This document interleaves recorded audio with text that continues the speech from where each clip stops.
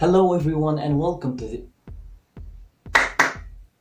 Hello everyone and welcome to this video. Today I would like to talk about a very important component and it's called the electrical diode. You have probably heard about it before. I will talk about how it works, how you could use it, and at the end as a bonus I will tell you why you should always put a resistor before an LED in any circuit. I have um, divided my video into chapters so you could just jump in into a point if you want to get to it quickly. So let's get started. The first thing I would like to talk about is the atom, because in order to show you how a diode works, I should review some important aspects of an atom. And this is by the way a diode, but I will just talk about it in the middle of this video. By then I would have told you some important things about the atoms and so. The atom is of course the smallest building block of the universe.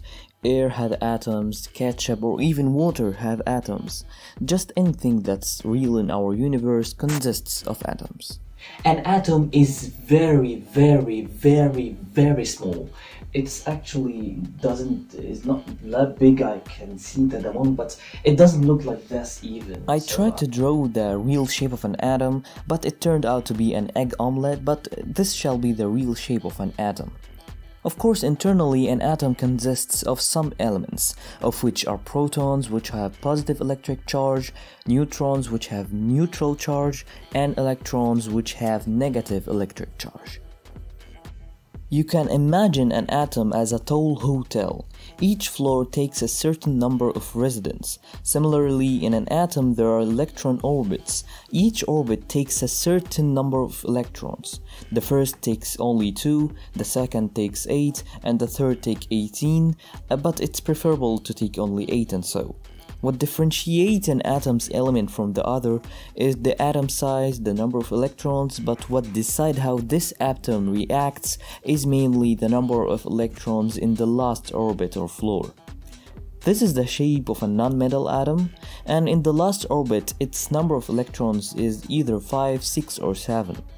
Keep in mind that any atom need to have only 8 electrons in its last outer shell. That's why nonmetals atom tend to gain electrons to fill its orbit with 8 electrons. Yet on the other hand, metals are the inverse. Metal atoms have either 1, 2 or 3 electrons in its last orbit or the last floor. Metals would just throw away its last electrons and will depend on the last 8 electrons the floor before the last one has. There are other elements which have exactly 4 electrons in the outer shell. Those have certain properties and some of them are called the semiconductors. Some of them has exactly 4 electrons in the last floor, so the atom can't really decide whether to lose its electrons or gain electrons. Of course, all of this is greatly simplified for the sake of simplicity. That's why if you like the topic, you can Google and find other YouTube videos talking in full details about chemistry, because you know, I'm not a chemistry teacher. Electricity is nothing except the movements of electrons from high concentrations to free electron holes, which are positively charged. And if any substance have freely moving electrons like all metals, it shall conduct electricity. In short, an electron is negatively charged and a hole, which have no electrons, are positively charged and the electrons will jump from its place and go to the positive charge holes. Now my concentration will be about the silicon atom because it's one of the most used substances in diodes and transistors. This is by the way the real photo taking with a huge microscope to show you how small an atom is. Of course, silicon from the semiconductors family and the last electron orbit of it have exactly 4 electrons. There is a very interesting thing that happen when you inject pure silicon crystals with some elements or impurities, and this process is called doping by the way.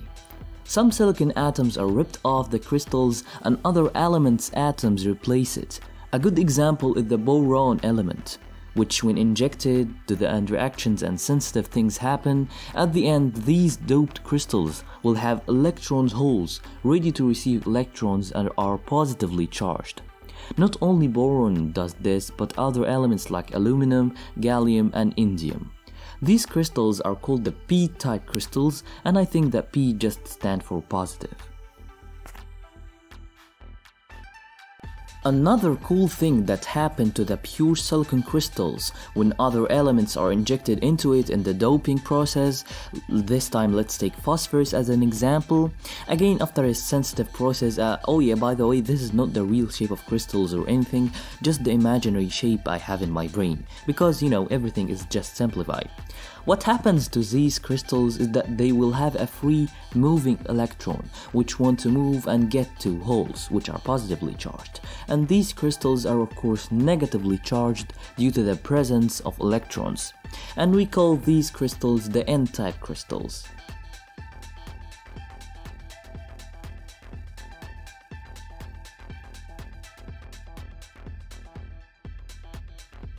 When you put the n-type crystals and the p-type crystals beside each other, a diode is created. Yeah, too simple. Uh, anyways, there is a cool thing that happened in the point of the contact of these two crystals.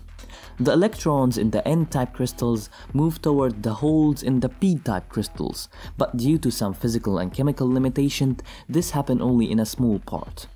And what's more astounding is that when the electrons leave the n-type crystals, there will be positive holes in the boundary of the n-type region. And of course there will be electrons in the boundary of the p-type region. And this middle region is called the depletion region.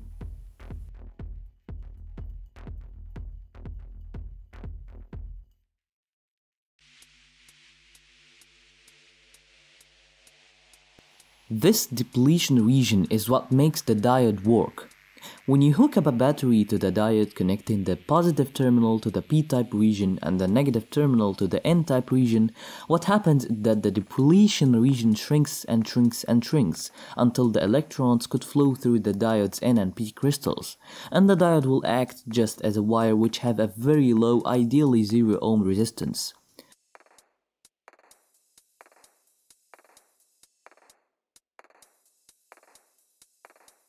And of course the reverse is true. If you hooked up the battery's positive terminal to the N region of the diode and the negative terminal to the P crystals of the diode, the depletion region grows bigger and bigger and bigger and no electrons will flow, thus no current or anything will flow and the diode will act just as the air which doesn't conduct electricity. Playing with diodes with high current and or high voltage power supplies, like the one in the computers for example, is very dangerous because it could get To sum up, a diode is an electric device which passes the electric current in only one direction. And this is the symbol of a generic diode. The side which have this vertical line is the negative side, while the one which have an arrow pointing to the right is the positive side. Conventional current, which is the type of current, will flow alongside the arrow, but if reversed, it will be blocked and won't flow. A diode in order to work and to overcome the depletion region has to have a certain voltage across it, which should be more than 0.7 volts, and this is called the forward voltage of a diode. This means also that if you connected the positive side to the diode to 5 volts for example, on the negative side we'll get only around 4.3 volts. If you hooked up a multimeter to measure the voltage drop of a diode, connecting the multimeter to the diode terminals, you will again read a 0.7 volts across it. This number is affected by the diode type, the current flowing through it, it could be 0.6, maybe 0.9, or maybe more or less, and ideally a diode when working should have a resistance of 0 ohms.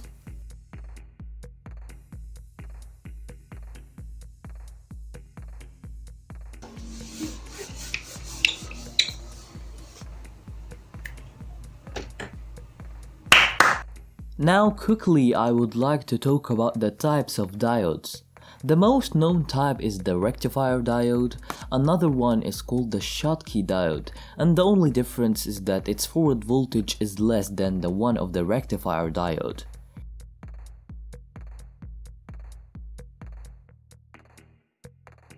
Other types of diodes are the Zener diodes, which are used as voltage regulators. And another type is the LED, an LED is the abbreviation of light emitting diode. emitting بأم واحدة. Oh yeah, sorry. What differentiates the diode from another is how much current it could withstand before exploding or melting also its forward voltage which makes it work, and also other things like the maximum reverse voltage you could apply into it before exploding in your face. Now under this magnify picture, I can tell you that the white side which have this line identifies the negative side of the diode. And also this is an LED or LED. Now I would like to do some tests on the diodes I have. Nowadays any new multimeter you buy probably has the forward voltage measuring functionality. Mine has one and I will measure the forward voltage of some diodes I have.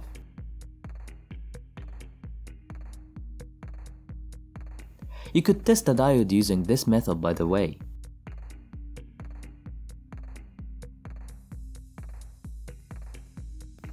Didn't work, uh, oh yeah, I put it in reverse. As I said before, the white line indicates the negative terminal of a diode.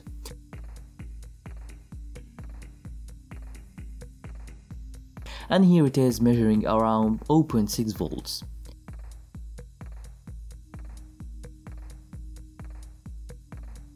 I think that this fat diode is a Schottky diode and uh, yep, it's a Schottky diode measuring a forward voltage just at 0.4 volts.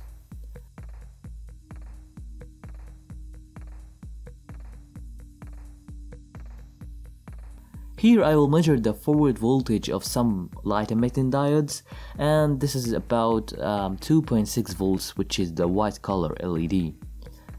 I will get another LED, uh, yellow color this time, and it measures around 1.8 volts.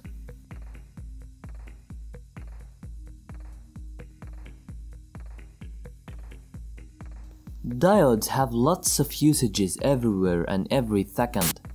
And every second, one of the known usages for a diode is to convert AC voltages to DC voltages, which is happening right now if you are watching this video on a desktop computer.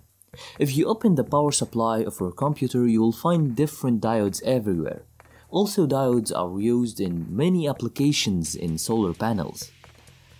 And I also uh, suggest that an Arduino Uno for example uses diodes for protection reasons. So if you connected a battery backwards, nothing get barbecued.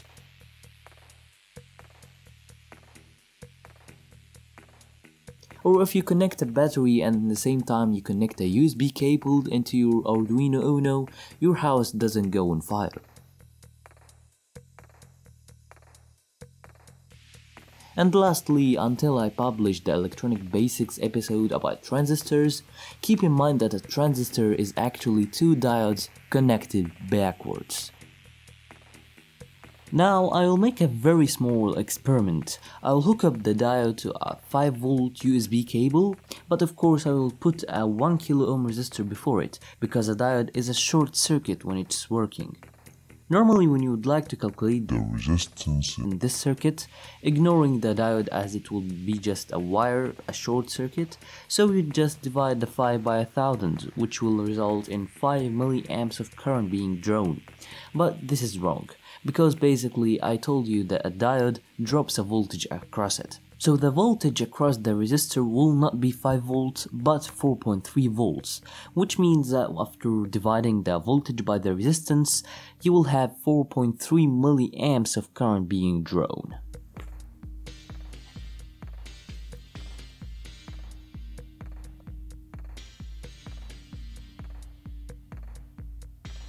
Now I'll put my multimeter in current measurement mode so I can measure the current being drawn from my circuit.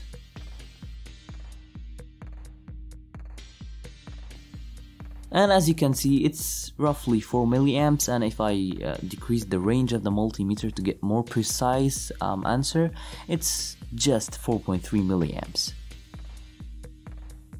Normally when you hook up the diode in reverse, there should not be any current being flown, but actually there is, and it's around 20 nanoamps, which is very small. Now I will tell you why you should always put a resistor before an LED and it's simply because an LED is a diode and you should put a current limiting resistor before any diode so that the diode is not short circuiting everything and it doesn't pop up and mold. At this point, I would like to end this video. I hope you really enjoyed it. If so, don't forget to drop me a comment below, maybe subscribe to the channel, and stay tuned because I will soon upload the next part of this video. Thanks for watching.